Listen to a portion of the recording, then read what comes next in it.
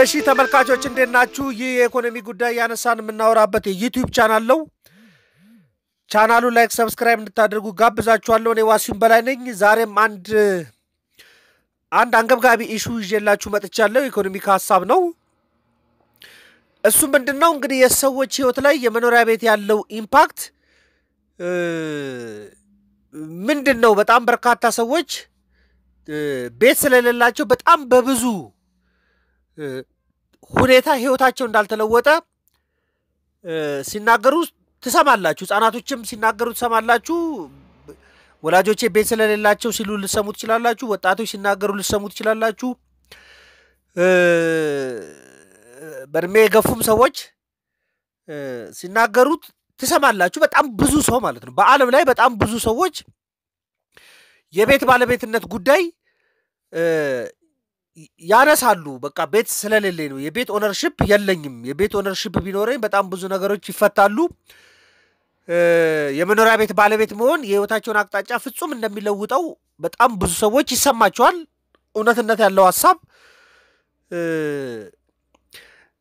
ነው እና ማንኛውም ሰው መንገድ ላይ ይዛችሁ ብትጠይቁት መሰረታዊ ብሎ ከሚጠራው ነገር መካከል መኖሪያ ቤት ቢኖረኝ ብሎ ያነሳል።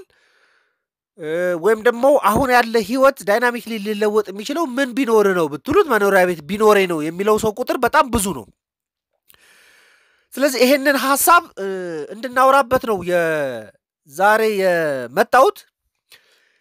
እንግዲህ በተደጋጋሚ የመኖሪያ ቤት ጉዳይ በሰዎች ህይወት ላይ ያለውን impact ለማወቅ የተወሰነ ጥናትም ከዚህ ቀደም ሰርቻ አውቃለሁ። Journal of Global Economics ላይ ብትመለከቱ ተከራይተው በሚኖሩና የቤት ባለቤት በሆኑ ሰዎች ወይም ደግሞ የቤት ባለቤት በሆኑ ሰዎች እና በሌሎቹ ሰዎች ላይ ያለው የህይወት የ welfare ጉዳይ ምን ይመስላል የሚል ጥናት ሰርቻለሁ። ዩቲዩብም ሰርቻለሁ። እዛ ላይ መመልከት ትችላላችሁ። ግን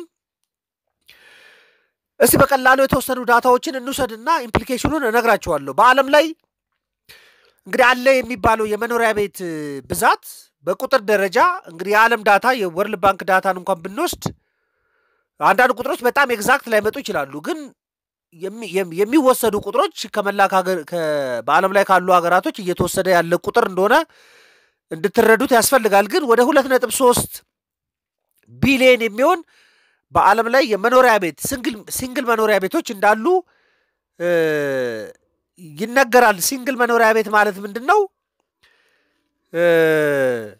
በቃ ቤት አይነቱ ሊለያይ ይችላል። በቃ በጣም ጥሩ ቤት የሚባል ሊኖር ይችላል። ደግሞ ደካማ ቤት ሊሆን ይችላል። ግን ሰዎችን መያዝ የሚችል ቤት በሚባል ደረጃ የጉግል ላይ ገብታችሁ መረጃዎች ብትመለከቱ ወደ ሁለት ነጥብ ሶስት ቢሊየን የሚሆን መኖሪያ ቤት አለ ተብሎ ይታሰባል። በዓለም ላይ መኖሪያ ቤት ደረጃው ከፍና ዝቅ ሊል ይችላል። የገጠር ቤት፣ የከተማ ቤት፣ ዘመናዊ ቤት ምናምን የሚለውን ጉዳይ እንዳለ ብላችሁ ቁጠሩት። ስለዚህ ይህንን እንውሰድና የዓለም ሕዝብ 2022 መጨረሻ ላይ ወደ 8 ቢሊዮን እንደደረሰ ይታወቃል። ስለዚህ በዓለም ላይ ያለው ሕዝብ በሙሉ ቤት ያስፈልገዋል ተብሎ አይታሰብም። ለምሳሌ ከ18 ዓመት በታች ያሉ ህጻናቶች እንደ household head ላይቆጠሩ ይችላሉ። እንደ ቤት መሪ ላይቆጠሩ ስለሚችሉ ቤት እንኳን እነሱ ብዙም አያስጨነቃቸውም ብለን ብናስብ ቤተሰብ ለመመስረት ራሱን ችሎ ለመኖር ምናምን ሰዎች የሚያስቡበት ዕድሜ 18 ዓመት ነው ብለን ብናስብ በዓለም ላይ ባለ መረጃ የዓለም ከ18 ዓመት በታች ዕድሜ ክልል አሉ ተብሎ የሚታሰቡት ወደ 16 ከመቶ ናቸው። ስለዚህ 84 ከመቶ የሚሆነው የዓለም ህዝብ ከ18 ዓመት በላይ ነው ያለው።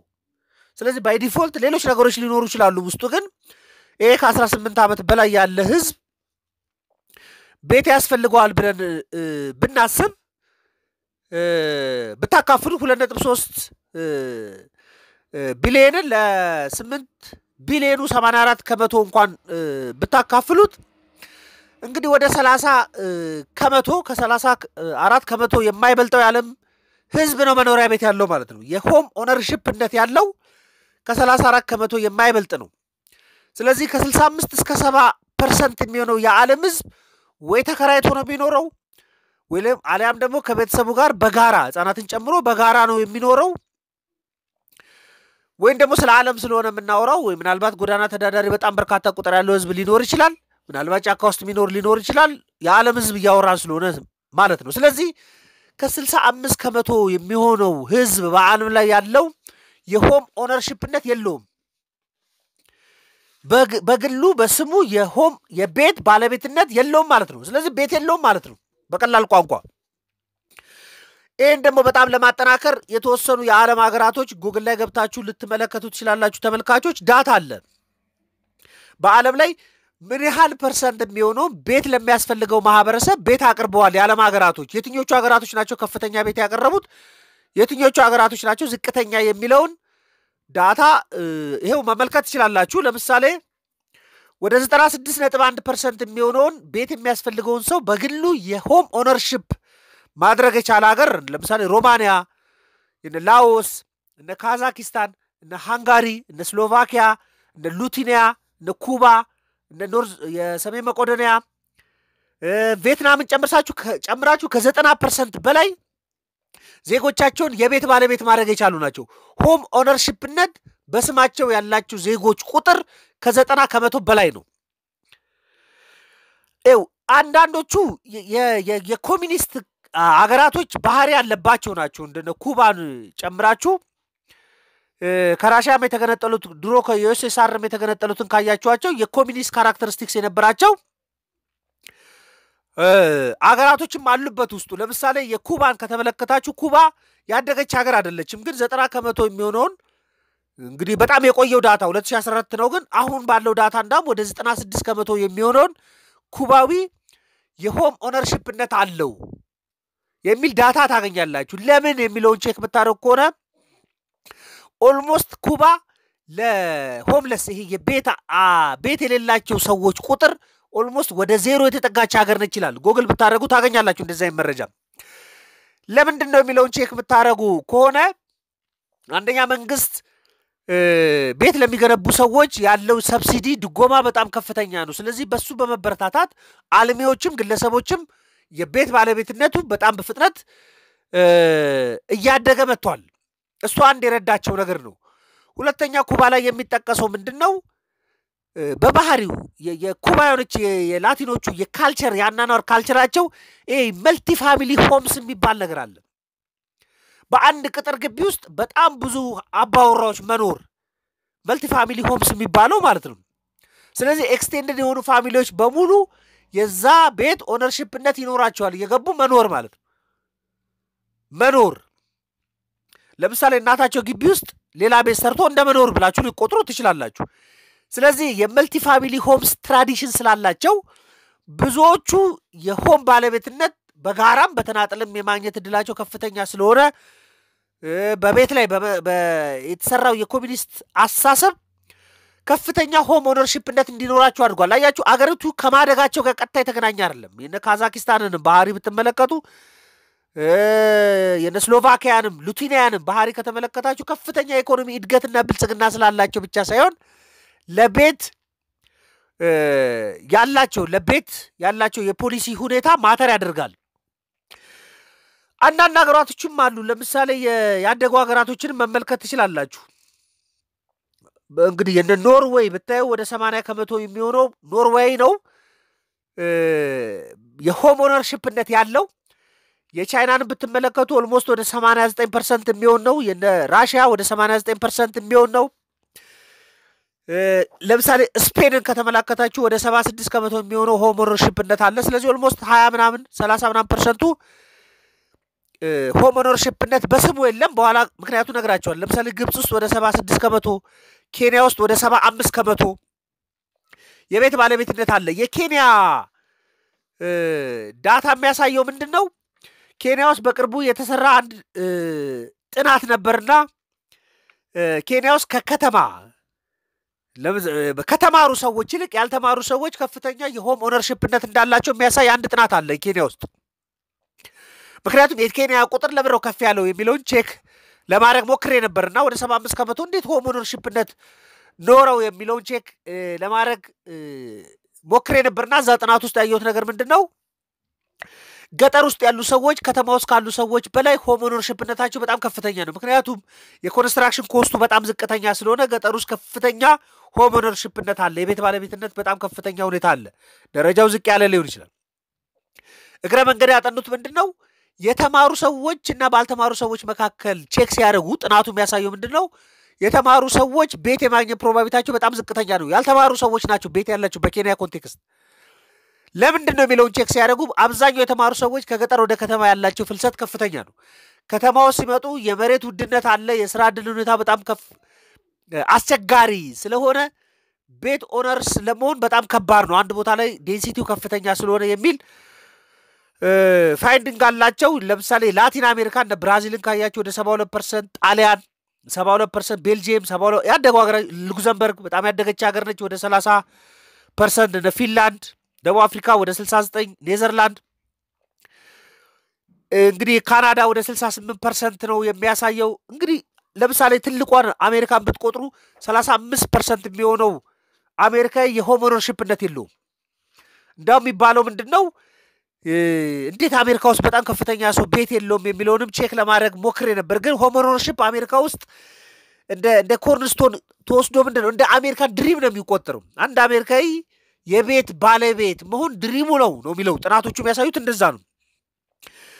ለምን አሁን ነፃነት ስለሚሰጠው ብቻ አይደለም። አንድ አሜሪካዊ አሁን ላይ ቤት አለው ማለት ነፃነት ብቻ መስጠት financial secure ብቻ ስለሚያደርገው ሳይሆን ወደፊት አቅሙም ቢደክም economically active እንኳን ባይሆን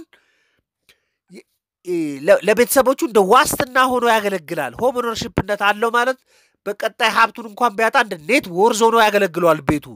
ስለዚህ ለቀጣይ እንደ ዋስትና ነው የሚቆጠረው። ስለዚህ ለብዙ አሜሪካዊ dream ነው የቤት ባለቤት መሆን dream ነው ይላል። ወደ 35 percent የሚሆነው አሜሪካዊ ቤት የለውም። ፈረንሳይም እንግሊዝም ብትወስዱ ከ60 ምናምን percent የበለጡ አይደሉም። ጀርመን ብትሄዱ ጀርመን በጣም ያደገ ሀገር ነው። ወደ 49 ከመቶ የሚሆነው ጀርመናዊ ቤት የለውም። ስዊዘርላንድ በጣም ያደገች ሀገር ነች። ወደ 60 percent የሚሆነውን ስዊዘርላንዳዊ ቤት የለውም። ሆንግ ኮንግ እንግዲህ በፍጥነት የምታድግ ሀገር ነች፣ ግን ወደ 78 percent የሚሆነው የሆንግ ኮንግ ዜጋ ቤት የለውም። የ2021 data ነው የሚያሳየው። አሁን ቤት የመኖርና ያለመኖር ጉዳይ ያደጉ ሀገራቶች ላይ ምክንያቱ በጣም የተለያየ ነው። ከደሃ ሀገራቶች ትንሽ ለየት ያለ ነው። ግን ባደጉ ሀገራቶች ለምሳሌ ጀርመን ውስጥ እንዴት 49 ከመቶ የሚሆነው ጀርመናዊ ቤት የለውም የሚለውን ሁኔታ ለማጣራት የተወሰነ search አድርጌ ነበርና የሚያሳየው ምንድን ነው እንግዲህ ጀርመን ውስጥ ባለው system እንግዲህ ቤት ለማግኘት ወይ ደግሞ የቤት ownership ነት ላይ ያለው tax በጣም ከፍተኛ በመሆኑ አብዛኛው ሰዎች ወደ ownership ወደ real estate development የመምጣት እድላቸው ዝቅተኛ ነው። እንደሱ አለው።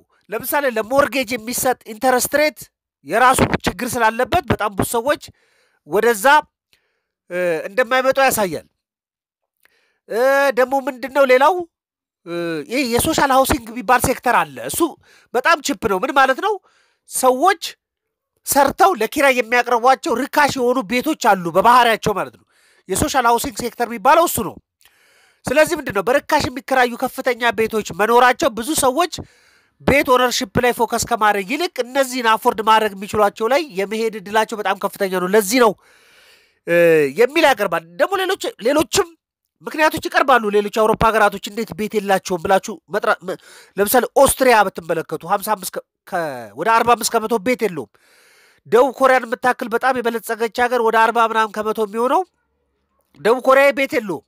ዴንማርክን የመሰለች በጣም ያደገች የበለጸገች ሀገር ወደ አርባ ከመቶ የሚሆነውን የሚሆነው ዜጋ ቤት የለውም። የ home ownership ነት ህዝብ እያልኩኝ ሳይሆን ቤት የሚያስፈልገው የእድሜ ክልል ውስጥ ያለ ዜጋ እያልኩ ነው። ለምን ብላችሁ ካያችሁ አንዳንዶቹ ላይ ይህ የ down payment ቅድሚያ ክፍያ የቤት ባለቤት ለመሆን የ real estate ባለቤት ለመሆን ቅድሚያ የሚከፈሉ ክፍያዎችን ያለማግኘት ችግር ያለበት ማህበረሰብ ክፍልም ስላለ አንደኛው ምክንያት እሱ ነው። አንዳንዶቹ ደግሞ ከፍተኛ debt ratio ያለባቸው ናቸው። በጣም ከፍተኛ ዕዳ ስላለባቸው ዕዳዎቻቸውን ከፍለው ሌላ credit ለመውሰድ ክፍተት ያለባቸው ሰዎች መሆናቸው ወደ home ownership ነት እንዳይመጡ እንዳደረጋቸው ያሳያል። አንዳንዶች ደግሞ የተረጋጋ ስራ ስለሌላቸው guaranteed ያለመሆን ችግር ያለባቸው ማህበረሰብ ክፍሎች አሉ። በጣም የሚገርማችሁ አንዳንድ ሀገራቶች ላይ በጣም ርካሽ ነው ኪራይ፣ በጣም ርካሽ ስለሆነ ወደ ኪራይ የሚሄዱበት ምክንያት አሉ። አንዳንዶቹ ደግሞ በጣም frequently move የሚያደርግ ማህበረሰብ ያለባቸው ሀገራቶች አሉ። secure መሆናቸውን ሲያረጋግጡ ከአንድ ቦታ ወደ ሌላ ቦታ ለመንቀሳቀስ ያላቸው ፍላጎት በጣም ከፍተኛ ስለሆነ የሆነ ቦታ ላይ የቤት ባለቤት ሆኖ መቆየት የማይፈልጉ ዜጎች አሉ። ቦታ እየለወጡ የሚፈልጉበት ቦታ እየተዘዋወሩ መኖር፣ አንድ ቦታ ላይ ረጅም ዓመት ለመቆየት ያለመፈለግ አይነት ባህሪ ያላቸው ማህበረሰቦች ካሉ home ownership ነት ፍላጎታቸው በጣም ይቀንሳል። አንዳንዶች ደግሞ unstable የሆነ relationship ያላቸው ሰዎች አሉ። ስለዚህ አንድ ቦታ ላይ ተረጋግቶ ለመኖር ከአጋሮቻቸው ጋር ያላቸው ግንኙነት unstable ሲሆን ቦታ እየለወጡ እየለወጡ የሚኖሩ ሰዎች አሉ። ስለዚህ ቦታ ለመለወጥ ባለቤት ለመሆን የቤት ባለቤት ለመሆን ያላቸው ፍላጎት ዝቅተኛ እንዲሆን ያደርጋል። በቃ በጣም more travel የሚያደርጉ የማህበረሰብ ክፍሎች ስላሉ ቤት ባለቤት ያለመሆን እድላቸው በጣም ከፍተኛ ነው። ስለዚህ በዓለም ላይ በጣም የተለያየ ምክንያት አለ። ሰዎች የቤት ባለቤት የማይሆኑበት ምክንያት አለ። የኢኮኖሚ ምክንያት አለ፣ ማህበራዊ ምክንያት አለ፣ ግለሰባዊ ምክንያቶች አሉ። አሁን ብዙ ሰዎችን ከጠየቃችኋቸው እኛ ሀገርም ከጠየቃችኋቸው መኖሪያ ቤት ቢኖር የኖረ የህይወት አቅጣጫ በጣም ሊለወጥ ይችላል ይላሉ። ለምን? በአብዛኛው ሰው ቤት ስለሌለው ወይም ደግሞ ተከራይቶ ስለሚኖር አሊያም ቤተሰቦቹ ጋር ረጅም ጊዜ በጥገኝነት እየኖረ በመሆኑ ከህይወቱ በጣም ብዙ እንደጎደለ የሚያስብ በጣም ብዙ ሰው አለ። እንግዲህ አይነቱ ሊለያይ ይችላል እንጂ የራሱ ቤት ቢኖረው የህይወቱ መስመር በተለያየ መልኩ ሊለወጥ እንደሚችል የሚያስቡ ሰዎች መኖራቸውን ታውቃላችሁ። ለምን? የመኖሪያ ቤት ባለቤትነት ለምን ያስፈልጋል? አንደኛ ሰዎች አንድ ቦታ ላይ ተረጋግተው መኖር ይፈልጋሉ። በቃ stable ሆነው መኖር ይፈልጋሉ። guaranteed መሆን ይፈልጋሉ። ቤቱ ዋስትና እንዲሆናቸው ይፈልጋሉ። አንድ ቦታ አይታችሁ ከሆነ እንግዲህ በየሰፈሩ የቤት ባለቤትና ተከራይቶ የሚኖር ሰው በዋስትናነት እኩል አይደለም። እድርም ለመግባት እቁብም ለመግባት በማህበራዊ እንኳን ከዚህ ቀደም ባጠናናቸው ጥናቶች ያገኘነው ግኝት የሚያሳየው እሱ ስለሆነ ስለዚህ ሰዎች አንድ ቦታ መረጋጋት ይፈልጋሉ። ሰርቴን እንዲሆን ይፈልጋሉ ጭንቅላታቸው። አንደኛው እሱ ነው። ሁለተኛው የኪራይ ወጪ በጣም ከፍተኛ ስለሆነ የኪራይ ወጪውን ከፍተኛ የወጪ ድርሻቸውን ስለሚይዝባቸው ይሄንን ከፍተኛ የወጪ ድርሻ መገላገል ስለሚፈልጉ ቤት እንዲኖራቸው ይፈልጋሉ ሰዎች። በሶስተኝነት ሰዎች አከራይተው እንደ ገቢ ምንጭ አድርገው መጠቀም ይፈልጋሉ። ምክንያቱም የቤት ባለቤትነት ማለት ከመኖር በተጨማሪ የገቢ ምንጭ መሆን ይችላል። ሰዎች አከራይተው ከኪራዩ ከሚገኘው ገንዘብ ላይ ህይወቶቻቸውን የሚመሩ በጣም በርካታ ሰዎች ሊኖሩ ይችላሉ። አንዳንዴ አከራይተው ተከራይተው የሚኖሩ ሰዎች ልትመለከቱ ትችላላችሁ። ቤታቸውም በአስር ሺህ ብር አከራይተው በአምስት ሺህ ብር የሚከራዩ ሰዎች ልትመለከቱ ትችላላችሁ። ለምን ሲባል ለሌሎች ከመኖሪያ በዘለለ የሚያስፈልጉ ፍላጎቶችን ለማሟላት እንደ ገቢ ምንጭ አድርጎ መጠቀም በጣም የተለመደ ስለሆነ አንደኛው እሱ ነው። ሶስተኛው አራተኛው የብድር ዋስትና አድርጎ መጠቀም የሚፈልጉ ሰዎች በጣም በርካታ ናቸው። ቤት አለው ማለት በዋስትናነት እየኖረ ተበድሮበት ሰርቶ የሚከፍል ሰው በጣም ሰው አለ። ስለዚህ ምንድን ነው እንደ ብድር ዋስትና እንደ ኮላተራል እንደ ቋሚ ንብረት ሆኖ ያገለግላል። ለዚህም ሊፈልጉት ይችላሉ። አንዳንዶች ቤታቸውን እንደ ስራ ቦታ አድርገው በጣም በነፃነት ኪራይ ሳይከፍሉ እንዳፈለጉ አድርገው ለመጠቀም የሚፈልጉ ሰዎች አሉ። አይነቱ ሊለያይ ይችላል እንጂ በዓለም አቀፍ ደረጃ የቤቶች ፍላጎት ይሄ ነው። ብዙዎቹ ቤት የሚፈልጉበት መሰረታዊ ምክንያት ይሄ ነው። አንዳንድ የበለጸጉ ሀገራቶች ላይ የቤት ባለቤት ለመሆን በጣም eager ላያደርግ ይችላል። ለምን? አሁን በበለጸጉ ሀገራት ላይ ያሉ ዜጎች አንድ የ golden budget rule የሚባል አለ። ምንድን ነው እሱም? የሰላሳ ሀምሳ ሀያ የሚባል የበጀት rule እንዳለ ይታወቃል። ከሱ ውስጥ ቤት መያዝ አለበት ተብሎ የሚታስበው ማክሲመም ከሄደ ከጠቅላላ ገቢ እስከ 25 ከመቶ ብቻ መውሰድ አለበት ተብሎ ይታሰባል። እስከ 25 ከመቶ ብቻ ለምሳሌ 10 ሺህ ብር የሚቀበል ሰው ከ2500 ብር የበለጠ የቤት ኪራይ አይከፍልም። ባይከፍል ነው ጥሩ እንደማለት ነው። ስለዚህ 25 ከመቶውን ብቻ የሚይዝ ከሆነ ዘሬስት ያለው 75 ከመቶ መሰረታዊ ጉዳዮችን አሟልቶለት ሰውየው በነፃነት እንዲኖር ማድረግ ይቻላል ተብሎ ይታሰባል። ይህ የ golden budget rule ይሉታል። እሱ category ውስጥ ኢኮኖሚ እንዲቆይ በአብዛኛው ይመከራል። ስለዚህ ባደጉ ሀገራቶች ላይ ለቤት በጣም eager የማይሆኑት 25 ከመቶና ከዛ በታች ከሆነ rent ያለው በጣም የተረጋጋ እንዲሆኑ ሊያደርጋቸው ይችላል። ምክንያቱም ከፍተኛ ድርሻውን አይኖሩም። የቤት ቁጥጥር ስርዓቱ በጣም ጠንካራ ስለሚሆን የኪራይ ወለል ጣራ የሚቀመጥ ስለሆነ በጣም የተረጋጋ ገበያው ተገማች እንደሆነ ስለሚያስቡ ተከራይቶ መኖር ችግር የለውም፣ ህይወታችንን ለመምራት ዲፊከልት አይደለም ብለው ሊያስቡ ይችላሉ። ግን ባላደጉ ሀገራቶች ደግሞ በጣም በጣም አስቸጋሪ ነው። ምክንያቱም የቤት ድርሻ ለምሳሌ እኔ እንደ ግለሰብ ብትወስዱኝ ከሀምሳ ከመቶ በላይ የሚሆነውን የገቢ መጠን ለኪራይ ይከፍላሉ። ስለዚህ ከፍተኛ ድርሻ እከፍላለሁ ማለት ነው። ከፍተኛ ድርሻ ሌሎችም ከዚህ በላይ እንደሚከፍሉ አስባለሁ። በተለይ አዲስ አበባ ውስጥ የሚኖሩ ሰዎች፣ capital city ውስጥ የሚኖሩ ሰዎች፣ ሌሎች በዓለም ሀገራቶችም የኪራይ ውድ የሆነባቸው ከተሞች ተብለው አሉ። ዋና ከተሞች፣ የንግድ ሴንተሮች እንግዲህ ጎግል ላይ ገብታችሁ ለምሳሌ የአውሮፓ ሀገራቶችን check ብታደርጉ የትኛው ከተሞች ላይ ነው ውድ ልታገኙ ትችላላችሁ። በሰፈርም ሊለያይ ይችላል። በቃ ትንሽ ያደገ የሚባልበት ሰፈር የሚኖር rent ሊለያይ ይችላል። ስለዚህ በጣም ከፍተኛ መጠን ሊከፍሉ የሚችሉ ሰዎች እንዳሉ ልታስቡት ትችላላችሁ። ደግሞ አንዳንዶች ደግሞ የሚያነሱት ሀሳብ አለ። really አሁን የቤት ጉዳይ ለሰዎች ቤት ቢቀርብ ሰዎች የሚያስቡት ቤት ቢኖራቸው እናደርገዋለን ብለው የሚያስቡትን ነገር በሙሉ totally መለወጥ ይችላሉ ወይ? በዓለም ላይ ያለው ሰባ አምስት ከመቶ የሚሆነው ማህበረሰብ ቤት የለውም፣ ግን የቤት ባለቤት ቢሆን የሚያስበውን ነገር በሙሉ upend መለወጥ ይችላሉ የሚል ጥያቄ ደግሞ ውስጡ ሊጨመርበት ይችላል። አሁን በቅርቡ አንድ አንድ ሰው ስናወራ እስቲ ምን ምን ይለኛል በቃ የመንግስት ሰራተኛ ሆኜ በ1997 ቤት ለመመዝገብ almost አርባ ዓመት የነበር እዛን ጊዜ ተመዝግቤ ነበር አለኝ። አርባ ዓመት የነበር ስመዘገብ አለ። ይህ almost ቤቱ ሳይደርሰኝ ይሄ ከአስራ ሰባት ዓመት አልፏል አለ።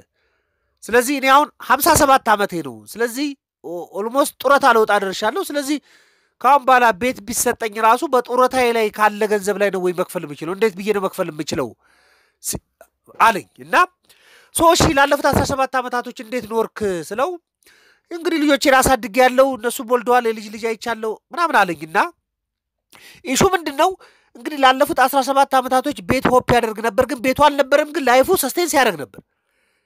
ልጆቹን ማስተማር ልጆቹን ማሳደግ የነበረውን process ግን በአስቸጋሪ ሁኔታዎች ውስጥም ቢሆን ለማለፍ ጥረት ሲያደርግ ነበር። ስለዚህ ወዲያው ምንድን ነው የምታስቡት? ሰዎች ቤት ቢኖራቸው technical የሚያስቡትን ነገሮች በሙሉ ይሞላሉ ወይ የሚል ጥያቄ እንድታመጡ ያደርጋል። ለምሳሌ የቤት ባለቤት የቤት ባለቤት የሆኑ ሰዎች ሌሎች ስራዎችን መስራት የማይችሉ ከሆነ ገቢ መስራት የማይችሉ ከሆነ የኪራይ ከፍተኛውን ወጪ ያለመረጋጋትን ሁኔታ ተስፋ የማድረግ ሁኔታ ይኖራቸዋል እንጂ ገበያ ውስጥ ያለውን ዋጋ ንረት የሚያቀጣጥለውን ወጪ አፎርድ ለማድረግ ሊቸገሩ ይችላሉ ሊቸገሩ ይችላሉ። ለመሸፈን በጣም ሊቸገሩ ይችላሉ ማለት ነው። ስለዚህ ቤት መሆኑ ዋስትና ሰጥቷቸዋል፣ የመኖር ዋስትና ሰጥቷቸዋል፣ ተረጋግተው እንዲኖሩ አድርጓቸዋል፣ የኪራይ ወጪ እንዳይኖርባቸው አድርገዋል፣ ከአከራይ ጋር የሚኖራቸውን ጭቅጭቅ በሙሉ ቀንሷል፣ ነገ ተነገ ወዲያ በተስፋ የተሞሉ እንዲሆኑ አድርጓቸዋል። ነገር ግን ገበያው ላይ የሚያስፈልገውን ሸመታ ግን ለመሸመት ሊቸገሩ ይችላሉ ሊቸገሩ ይችላሉ። በጣም ብዙ ሰዎችን እንደዚህ መመልከት ትችላላችሁ። ስለዚህ የእነዚህ ሰዎች ህይወት እንዲለወጥ ቤቱ ብቻ ነበር ወይ መሰረታዊ ኢሹ እንዲህ የሚለውን ለማንሳት ያስገድዳል ማለት ነው። ለምሳሌ በወር አስር ሺህ ብር እያገኘ በወር አምስት ሺህ ብር ኪራይ የሚከፍል ሰው አለ ብለን እናስብ። በወር አስር ሺህ ብር net ያገኛል። በወር አምስት ሺህ ብር የቤት ኪራይ ይከፍላል ብለን እናስብ። ምን ማለት ነው? ሀምሳ ከመቶ የሚሆነውን ገቢ የቤት ኪራይ ይከፍላል ማለት ነው። አሁን ይህ ሰው የቤት ኪራይ የሚከፍለውን አምስት ሺህ ብር ቢጨመርለት በጣም the most guaranteed person መሆን ይችላል ወይ ደግሞ ህይወቱ በጣም በመሰረታዊነት ሊለወጥ ይችላል። ችግሩ ቤት ነበር። ችግሩ ቤቱ የተከራየው ቤት ሀምሳ percent የወጪውን ይቀበለው ነበር። ስለዚህ ሀምሳ percent የኪራዩ የሚወስድበትን ቦነስ ብናደርገው የሰውዬ ህይወቱ በተለየ መልኩ ሊለወጥ ይችላል። ስለዚህ ያስቸግራል ማለት ነው። በጣም ከፍተኛ ዋስትና የመሆን እድሉ በጣም አስቸጋሪ ነው ማለት ነው። ቤትም ኖሮ ተከራይቶም ለትምህርት ቤት መክፈል የሚቸገር ሰው ደግሞ ልትመለከቱ ትችላላችሁ። ቤት አለው ግን ለልጆቹ ትምህርት ቤት መክፈል የሚቸገር ሰው ልትመለከቱ ትችላላችሁ። ቤት አለው፣ በቤቱ ይኖራል። ነገር ግን ወራዊ አስቤዛውን ለማግኘት በጣም የሚቸገር ሰው ትመለከታላችሁ። ደሞዝተኛ ነው፣ የቤት ኪራዩን ተረጋግቶ የሚከፍል ሰው ልታገኙ ትችላላችሁ።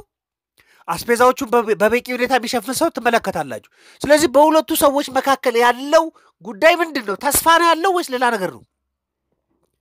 የቤት ባለቤት መሆን ካሽ ለሚያስፈልገው ለአስፔዛ ለመሰረታዊ ወጪዎቹ የማያበቃው ከሆነ ሰውየው ተከራይቶ የሚኖሩ ሰዎች cover ማድረግ የሚችሉትን መቻል ካልቻለ በመሀል ላይ ያለው ጉዳይ ተስፋ ነው ማለት ነው። አንዳንድ ሰዎች ደግሞ ምን ትመለከታላችሁ? ቤት አላቸው አስር ሺህ ብር የሆነ ቦታ ላይ አከራይተዋል። እነሱ ግን ሌላ ቦታ ላይ አምስት ሺህ ብር ተከራይተው በአምስት ሺህ ብሩ income ነው ያገኙት። ስለዚህ ቤት ኖሯቸው አከራይተው በመኖራቸው እነዚህ ሰዎች ለ survive ነው fight እያደረጉ ያሉት እንጂ ህይወታቸው up and down ተለውጧል ብሎ ለመናገር አይቻልም። ብዙ ሰዎች ግን የሚያስቡት ምንድን ነው? ቤቱ ስላለ ህይወታቸው dynamically እንደሚለወጥ ይሰማቸዋል። ከብዙ ነገር ያሰራቸው ቤት ስለሌላቸው እንደሆነ የሚሰማቸው በጣም ብዙ ሰዎች አሉ፣ እኔንም ጨምሮ ማለት ነው። ግን ቤት የብዙ ሰዎችን ህይወት ፍጹም ወደ ተደላደለ ህይወት የመለወጥ አቅም ላይኖረው ይችላል። ሊኖረውም ይችላል፣ of course ግን ላይኖረውም ይችላል። ምክንያቱም ኢኮኖሚው የሚፈልገው ቤት ያለው ሰው ብቻ አይደለም። ኢኮኖሚ የሚፈልገው ቤት እንደ አንድ ወጪ ሊሆን ይችላል። ከቤት ውጭ በጣም በርካታ bundle of basket of bundle አለ። የወጪ ዝርዝሮች አሉ። እነሱን የወጪ ዝርዝሮች መሸፈን የማይችል ቤቱ ወደ income ነት እንዲለወጥ ማድረግ የማይችል ቤቱ ዋስትና guarantee ሆኖ ተጨማሪ income የሚሰራበትን ሁኔታ ካልተፈጠረ በስተቀር ቤት ውስጥ ተረጋግቶ የሚኖር ነገር ግን ገበያ ውስጥ ላይ financially freedom የሌለው financial illiteracy ውስጥ የወደቀ ሰው እንዲሆን ያደርጋል ማለት ነው። ስለዚህ ሰዎች ሁለት ነገር ነው ማሰብ ያለባቸው።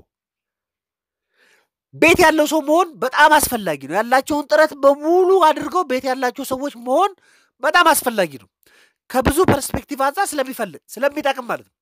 አንዳንዶች ላይፈልጉ ይችላሉ። ለምሳሌ አንዳንድ ሰዎች በጣም ተመሳሳይ ህይወት መኖር ላይፈልጉ ይችላሉ። ተንቀሳቅሶ መኖር ሊፈልጉ ይችላሉ። የሆነ የሆነ ጊዜ የሆነ ቦታ ላይ መኖር ሊፈልጉ ይችላሉ። የሆነ ጊዜ ላይ ደግሞ ለስራቸው ቀረብ ያለ ቦታ ላይ ሄደው ሊሰሩ ይችላሉ። ለምሳሌ አንድ ሰው ቤት የሚኖርበት ቤት ያለው ቤት አዲስ ካገኘው ስራ ቦታ የሀያ ኪሎ ሜትር ርቀት ቢኖረው የሚተማመነው ምን እያደረገ ነው? የሀያ ኪሎ ሜትሩን ለመጓዝ ነው ሊያስብ የሚችለው። በቃ እዛ ድረስ ሄጄ ሰርቼ እመለሳለሁ ሊል ይችላል። ተከራይቶ የሚኖሩ ሰዎች ደግሞ ምን ሊያደርጉ ይችላሉ? ቤታቸውን መስሪያ ቤታቸው ጋር ሊወስዱት ይችላሉ። ሀያ ኪሎ ሜትር ላይ ሄደው ተከራይተው እዛ አካባቢ ላይ እየሰሩ ሊኖሩ ይችላሉ። እንደዚህ አይነት ምርጫ ያላቸው ሰዎች ሊኖሩ ይችላሉ። ኢትዮጵያ ውስጥም በዓለም ላይም እንደዚህ አይነት ምርጫ ያላቸው ሰዎች ሊኖሩ ይችላሉ። አይ የቤት ባለቤት መሆን ከፍተኛ ካፒታል ይይዛል፣ ስለዚህ ካፒታል እንዲይዝብኝ አልፈልግም፣ ተከራይቼ እየኖርኩ ግን ገንዘቡን ማገላበጥ እፈልጋለሁ የሚሉ ሰዎች ሊኖሩ ይችላሉ። ለምሳሌ አዲስ አበባ ውስጥ የቤት ባለቤት ለመሆን አስር ሚሊዮን ምናምን ይፈጃል ብለን እናስብ። አስር አስራ አምስት ሀያ ሚሊዮን ሊፈጅ ይችላል። እንደ ቤቱ አይነት ሊሆን ይችላል።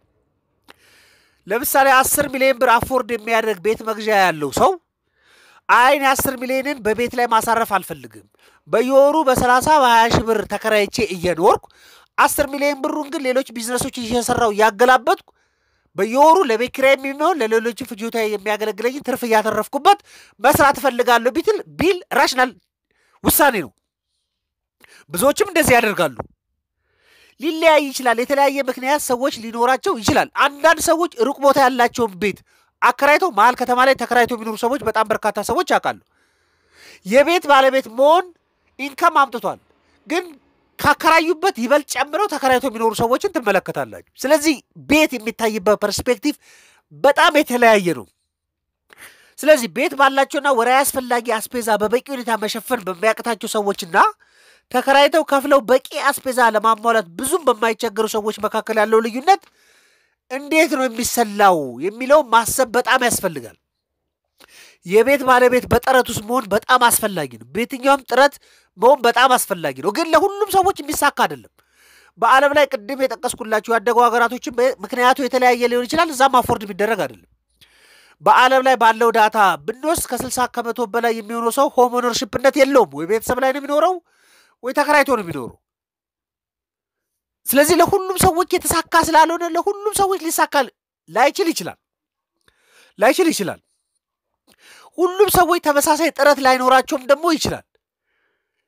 ነገር ግን ተከራይቶ የሚኖሩ ሰዎች ከሆኑ ኢኮኖሚ ላይ ተከራይቶ ለመኖር እንኳን ሰርቫይቭ የሚያስደርግ አቅም ይዞ መገኘት ደግሞ የሰዎቹን አቅም ነው የሚወስነው፣ ጥረታቸውን ነው የሚወስነው። አስፈላጊ ጉዳይ እሱ ስለሆነ ማለት ቤትም ተሰጥቶት መሸመት የማይችል ሰው መሆንና ቤትም ተከራይቶ መሸመት የሚችል ሰው ሆኖ መገኘት ማለት ነው። በመሀል ላይ ያለው ልዩነት እሱ ነው። በጥናትም በተወሰነ መልኩ ያረጋገጥነው እሱ ነው። ተከራይቶ የሚኖሩ ሰዎች ማህበራዊና ኢኮኖሚያዊ አክቲቪቲያቸው በጣም ያልተዳከመ በጣም ብዙ ሰዎችን ማግኘት ችለናል። ተከራይ ስለሆንኩ መኪና አልገዛም ያላሉ ሰዎች ማለት ተከራይ ናቸው፣ ግን መኪና ያላቸው በጣም በርካታ ሰዎች ታገኛላችሁ። አይ ቤት ሳይኖረው መኪና ምናምን ሊባል አይችልም። ሰውዬው ተከራይቶ ይኖራል። በመኪናው ሌሎች ነገሮች ሊሰራ ይችላል። ቢሮ ላይ ደርሶበት ሊመጣ ይችላል ሰውዬው። እኔ ተከራይ ስለሆንኩ ቤተሰብ መመስረት አልችልም፣ ስለዚህ ትልቁ ዋስትና ስለሌለኝ የሚሉ ሰዎች ማግኘት አልቻለም። እኔ ተከራይ ስለሆንኩ ልጆቼን እዚህ ቦታ ላይ አላስተምርም፣ ደህና ነገር አልለብስም፣ ደህና ነገር አልበላም የሚሉ ሰዎች ልታገኙ አትችልም።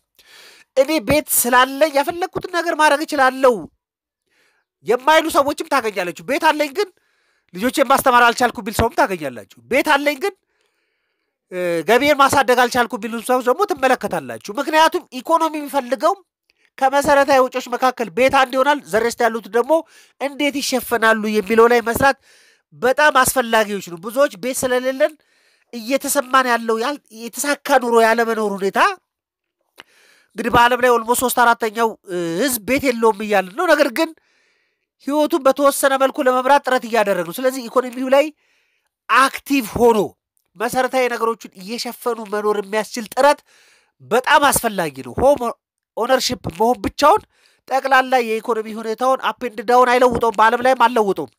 ለተወሰኑ ሰዎች ሊያደርግ ይችላል፣ ለብዙ ሰዎች ሊያደርግ ይችላል፣ ለብዙ ሰዎች of course ሊያደርግ ይችላል።